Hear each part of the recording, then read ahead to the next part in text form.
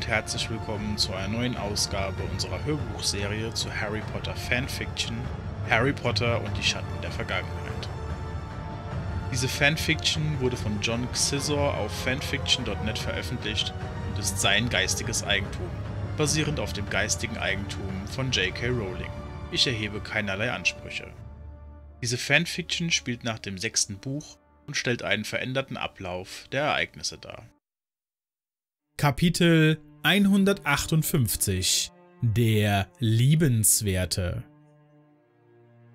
Am Abend knisterte bei Harry und Ginny der Kamin, weswegen sie nachschaute, wer sich bei ihnen um diese Uhrzeit noch melden würde. Hallo Ginny, sagte Draco mit einem ungewohnt ehrlichen, freundlichen Lächeln auf den Lippen. Bevor sie fragen konnte, ob er Harry sprechen wollte, nannte Draco bereits sein Anliegen. Wir möchten euch morgen zum Mittag einladen. Zu halb eins? Habt ihr Zeit? Natürlich könnt ihr auch Nicholas mitbringen. Moment, ich frag mal Harry. Der hatte dem Gespräch seiner Verlobten längst gelauscht und nickten zugestimmt, als sie sich zu ihm umwandte, so dass Ginny für morgen zusagen konnte. Du weißt aber, dass morgen Silvester ist. Natürlich weiß ich das. Ihr müsst auch nicht allzu lange bleiben, wenn ihr noch etwas anderes vorhabt. Ach, bevor ich es vergesse, würdet ihr bitte Hermine und Severus Bescheid geben? Die beiden sollen morgen bitte auch kommen. Ginny blinzelte erstaunt, nickte jedoch zustimmend und verabschiedete sich im Anschluss. Was war denn das? fragte Harry grinsend. Eine Einladung, gab sie ihm neckend zur Antwort, obwohl er das durchaus hatte hören können. Nur warum Draco sie ausgesprochen hatte, das war ihm nicht klar. Das mit Snape übernimmst du, Harry. Ja, mach ich. Morgen halb eins? Sie nickte. Ich sag am besten gleich Bescheid. In den Kerkern standen Hermine und Severus im Labor an einem Tisch über einem aufgeklappten Buch gebeugt, welches sie zeitgleich lasen. Wie wäre es, wenn ich das Buch zuerst lese und Sie danach? schlug er mit rauem Befehlston vor. In den Text vertieft murmelte sie. Warum? Wir haben doch die gleiche Lesegeschwindigkeit. Klappt doch hervorragend. Aber ich möchte gerne Platz nehmen. Sie blickte aufgrund seiner nörgelnden Worte auf und stimmte ihm gelassen zu. Dann lassen Sie uns doch einfach Platz nehmen. Ich habe noch nie in meinem Leben ein Buch mit einer anderen Person zur gleichen Zeit gelesen. Warf er ihr als ärgerlich klingende Tatsache vor, weil er dies jetzt tun musste und es offensichtlich nicht wollte. Sie stutzte. Dann haben Sie in der Schule nie ein Buch mit einem Mitschüler geteilt? Da seinerseits eine Antwort ausblieb, war es für sie Antwort genug. Dachte ich's mir, fügte sie grinsend hinzu. Wir können in Ihrem Wohnzimmer weiterlesen, wenn Sie nicht hier an Ihrem Arbeitstisch sitzen möchten. Meinetwegen, erwiderte er knapp und resignierend, bevor er das Buch zuschlug. Vor dem Gemälde von Salazar trafen beide auf Harry, den Severus hineinbat. Was kann ich für Sie tun? fragte Severus höflich. Nichts, ich wollte nur Bescheid geben, dass Draco uns morgen sehen möchte. Er hat uns zu halb eins eingeladen. Harry tätschelte den weißen Hund und bemerkte daher nicht den skeptischen Blick, den Severus ihm zuwarf. Warum? hörte Harry ihn kurz darauf fragen. Ähm, ich weiß nicht. Das hat er nicht gesagt. Er hat Ginny und mich gebeten, morgen zu kommen, und ich sollte Ihnen und Hermine auch. Das soll ein Grund sein? unterbrach Severus. Hermine vermutete laut. Vielleicht wollen die beiden uns nur zum Essen einladen? Das soll ein Grund sein? fragte Severus spöttisch. Eine Einladung zur gemeinsamen Nahrungsaufnahme? Sie rollte genervt mit den Augen. Man kann sich während eines Mittagessens auch gut unterhalten. Es klang so, warf Harry erklärend ein, als würde es nicht allzu lang dauern. Sie kommen doch, Severus. Ich habe andere Dinge zu erledigen. Sie schnaufte, bevor sie ihm vor Augen hielt. Zwei Stunden ihrer Zeit können sie wohl entbehren. Ich kann es jedenfalls und ich werde morgen hingehen. Wir arbeiten zusammen an einem Projekt und Sie unterbrach mit einer beschwichtigenden Geste ihrer Hände. Severus, Sie haben erst letzte Woche gesagt, dass ich wie die anderen Schüler Ferien habe. Seine grantige Art verflog mit einem Male, denn sie hat recht. Sie hatten zwar zusammen gearbeitet, doch das war in ihrer Freizeit gewesen. Sie sollten sich auch mal eine Auszeit nehmen. Lassen Sie sich bewirten und unterhalten. Schlug sie ihm vor. Er verzog angewidert das Gesicht, so dass sie ihn ein wenig aus der Reserve zu locken versuchte, denn sie fügte leise hinzu. Ich bin mir sicher, es würde sich für Sie sogar die Gelegenheit ergeben, mit Dracos Einverständnis mal einen Blick auf die Malfoysche Sammlung schwarzer Objekte zu werfen. Eine seiner Augenbrauen wanderte nach oben, ein Mundwinkel folgte zögerlich. Nachdem das geklärt war, verabschiedete sich Harry wieder, so dass Severus und Hermine sich aufs Neue dem Buch widmen konnten. Die halbbiografische Abhandlung des Paselmundes, der vor über 600 Jahren gelebt haben soll, war höchst interessant. Severus und Hermine saßen nebeneinander auf seiner Couch. Das Buch lag halb auf ihrem, halb auf seinem Oberschenkel, als er nach dem fünften Kapitel leise fragte. denken Sie das gleiche wie ich? Sie hatte dieselbe Textstelle erreicht und antwortete. Ich denke schon. Unser Mr. Kalitita hier war ein kluger Mann und ist durch Zufall auf etwas sehr Interessantes gestoßen. Und dieser Zufall ist sehr wahrscheinlich der einzige Grund, warum dieses Buch Jahrhunderte später in dem Verzeichnis für verbotene Schriften beim Ministerium aufgeführt wird. Das ist wirklich schade. sagte Hermine. Kalitita hat sehr hilfreiche Heilmethoden mit Schlangengift entwickelt und das Basiliskengift hat offenbar noch wesentlich besser gewirkt. Rheuma, Asthma, Nervenerkrankungen Las sie vor. und wie es aussieht, hat er ein starkes Betäubungsmittel hergestellt. Welches Vervollständigte Severus. bei zu hoher Dosierung einen nicht kontrollierbaren, komaähnlichen Tiefschlaf herbeiführt. Viel tiefer als der Tupor, bei dem der Patient zumindest noch Abwehrreaktionen zeigt. Es ist kein Wunder, dass man diese eine Entdeckung von Mr. Kalidita verteufelt, denn der Patient wirkt wie tot und ist den Menschen um sich herum hilflos ausgeliefert. Bellatrix muss Schlafesbruder mit Hilfe der Beschreibungen dieses Buches verändert haben. Wir müssen anhand der Untersuchungsergebnisse von Benzys Blut berechnen, wie viel Gift dem Trank beigemischt worden sein könnte. Ich frage mich nur, wie wir ein Gegenmittel herstellen sollen. Wenn wir die richtige Mischung des Tranks ausmachen könnten, dann wird ein Gegengift zumindest in der Theorie leichter zu finden sein. Sie lasen gemeinsam bis spät in die Nacht hinein und hatten am Ende das gesamte Buch geschafft, denn sehr dick war die Biografie nicht gewesen. Möglicherweise, so dachte Hermine, war das Buch nicht sehr umfangreich, weil Kalidita nicht sehr alt geworden war. Er war mit nur 34 Jahren verschwunden und später für tot erklärt worden. Die Vermutung hatte sich gefestigt, dass Kalidita seinem eigenen Basilisken zum Opfer gefallen sein musste. Am nächsten Morgen hatte sich Hermine dezent, aber elegant gekleidet, denn sie hatte nicht einmal eine Ahnung, welchen Anlass Dracos Einladung haben würde. Überpünktlich trat sie aus dem Kamin der Bibliothek in Malfoy Manor, wo sie Severus in die Arme stolperte, der wenige Sekunden zuvor vor ihr hergefloht war. Er half ihr, das Gleichgewicht wiederzufinden. Die Zeitplanung ist bei euch beiden identisch, wie ich sehe. murmelte Draco schmunzelnd, denn beide waren fast genau fünf Minuten vor halb eins eingetroffen. Herzlich willkommen. Darf ich nach dem Grund fragen? Warum sind wir eingeladen worden? Fragte Severus fordernd. Einmal die Schultern hebend und senkend, erwiderte Draco als Frage formuliert. Zum Mittagessen?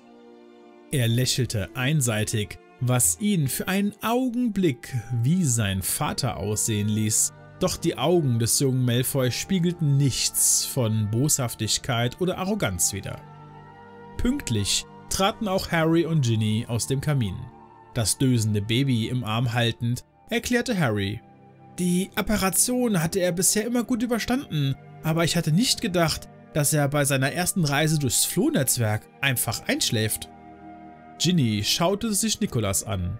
Er hat eben die Flasche bekommen. Natürlich ist er danach müde.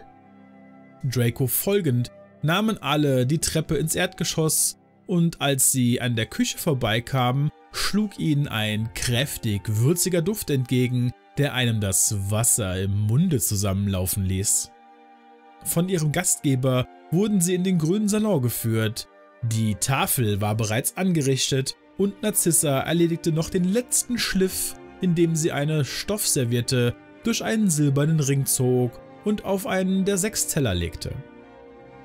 Aufmerksam betrachtete Hermine den großen Raum, in welchem vor kurzem noch die Hochzeit von Susan und Draco stattgefunden hatte.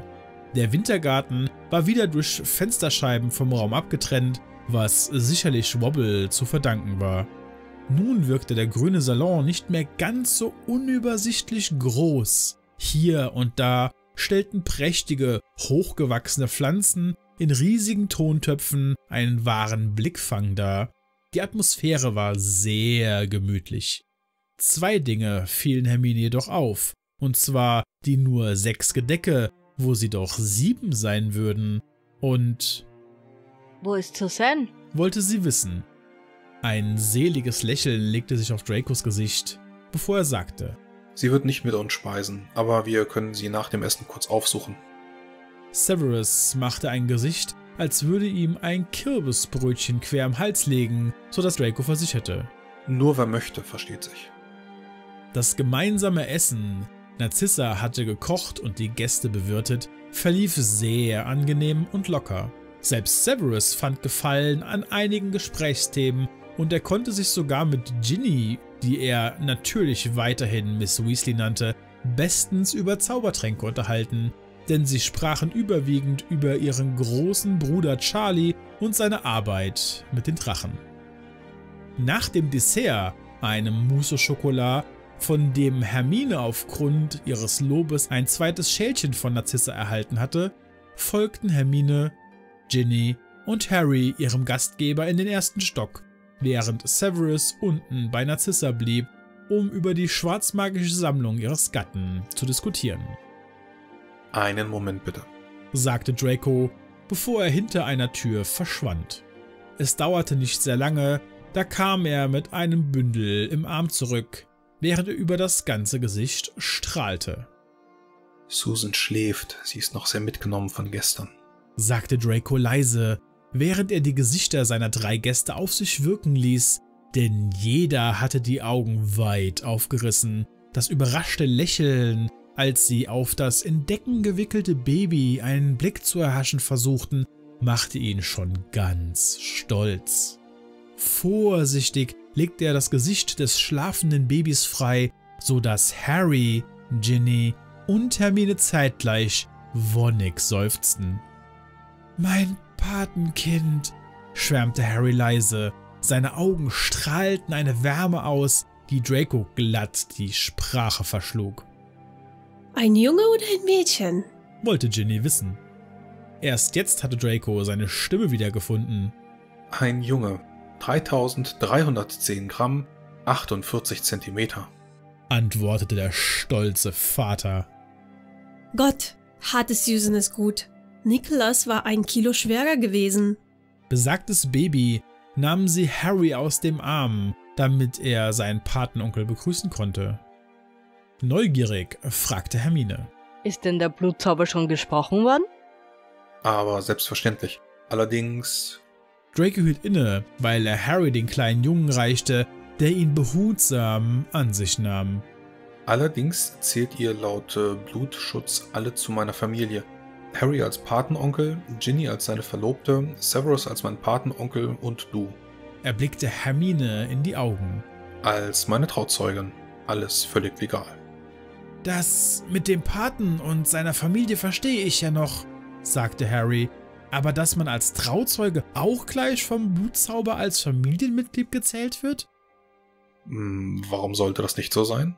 sagte Draco entgeistert, denn es war ihm ein Rätsel, warum Harry so eine Frage stellte.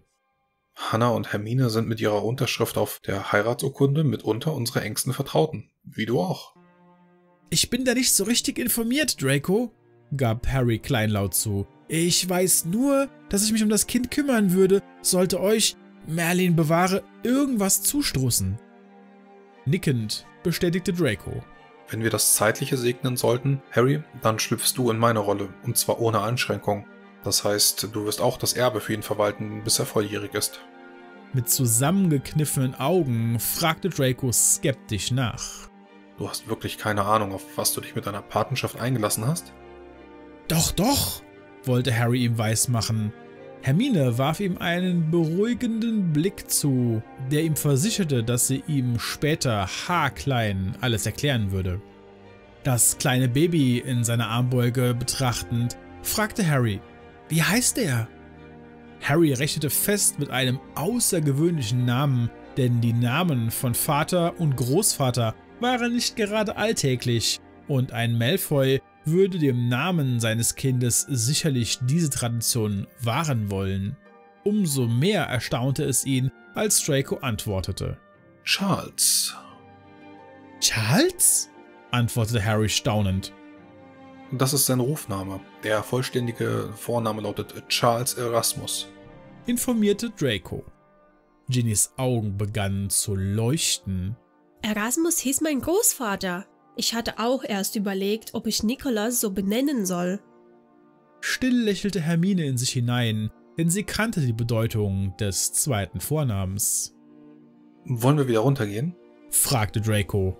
Ich würde gern, dass Severus ihn auch mal sieht. Harry wollte Charles bereits an den Vater zurückgeben, da erlaubte ihm Draco. Nein, trag ihn ruhig. Ich werde noch oft genug dazu kommen. Im grünen Salon unterhielten sich Narzissa und Severus gerade ungestört über einige der schwarzmagischen Objekte, auf die Severus schon vor zwei Jahrzehnten ein Auge geworfen hatte.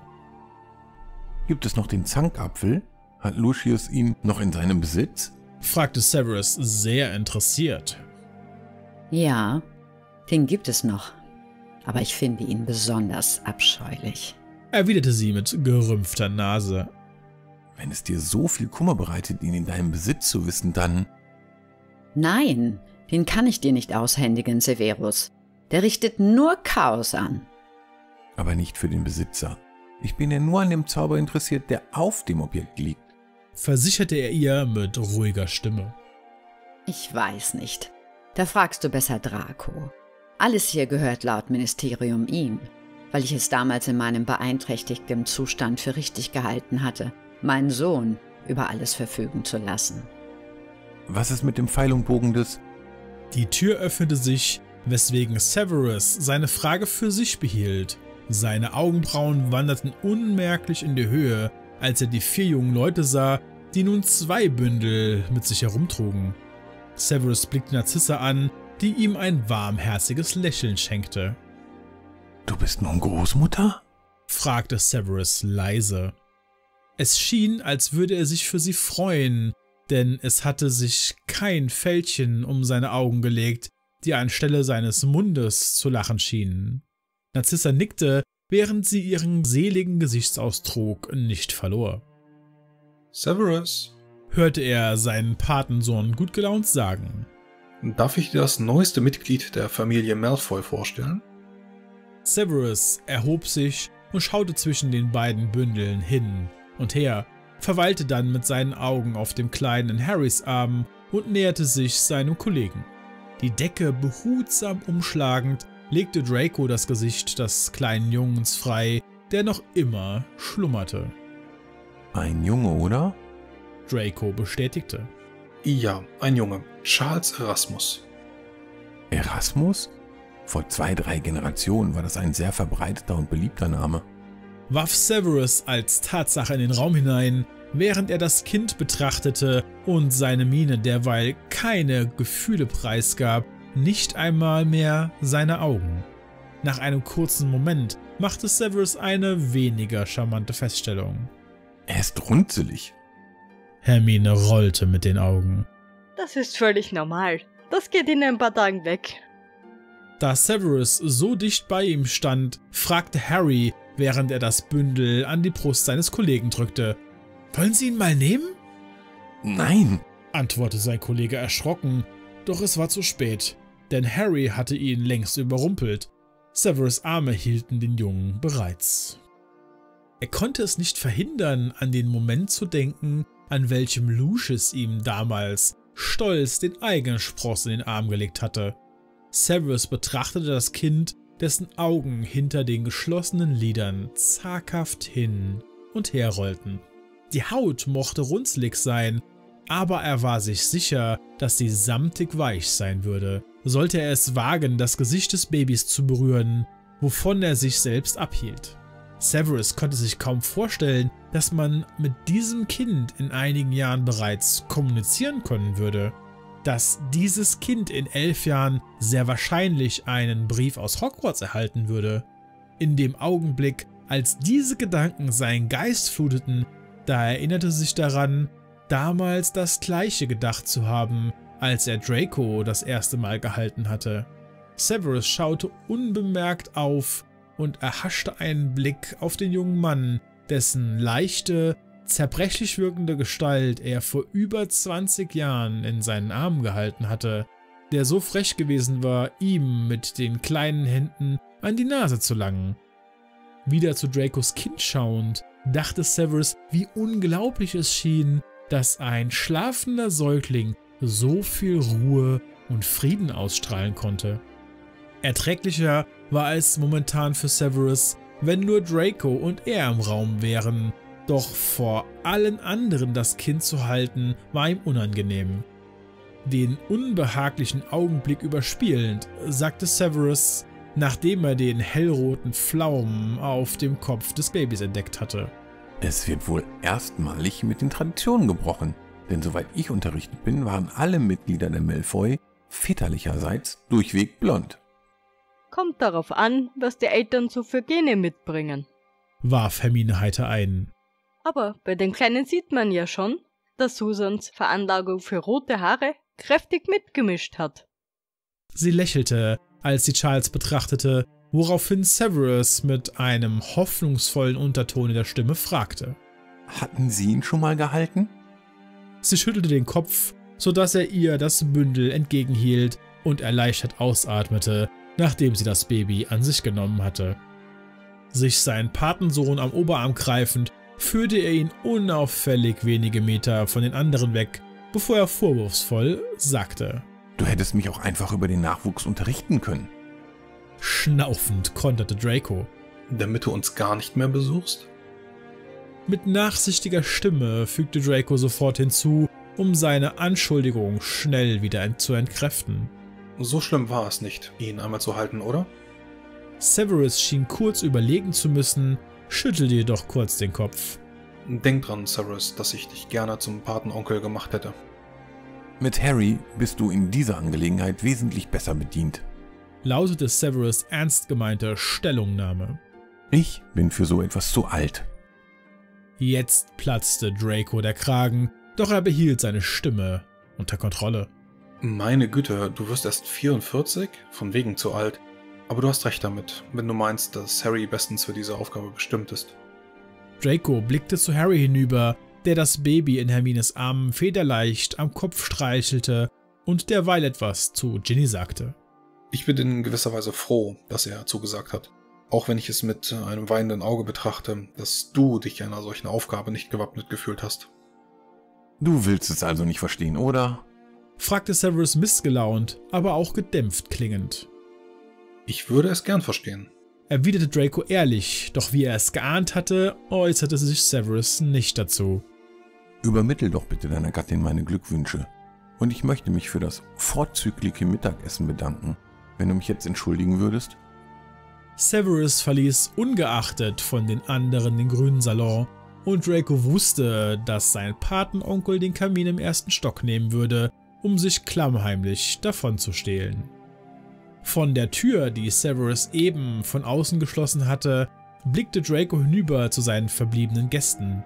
Hermine und Harry standen noch immer zusammen und bestaunten den Jungen, während seine Mutter sich in Ginnys Nähe aufhielt und deren Sohn betrachtete, sich derweil mit der Rothaarigen gelassen unterhielt.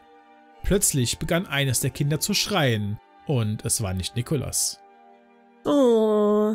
machte Ginny mitfühlend, als sie sich Hermine näherte.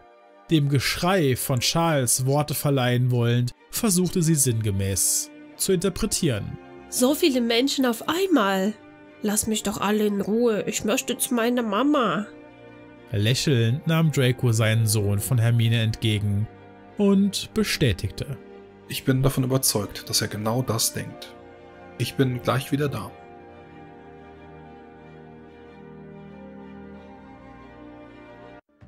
Soweit zu unserer heutigen Episode von Harry Potter und die Schatten der Vergangenheit. Wenn euch die Folge gefallen hat, lasst doch gerne einen Daumen nach oben da und natürlich auch ein Abo, damit du keine Folge mehr verpasst.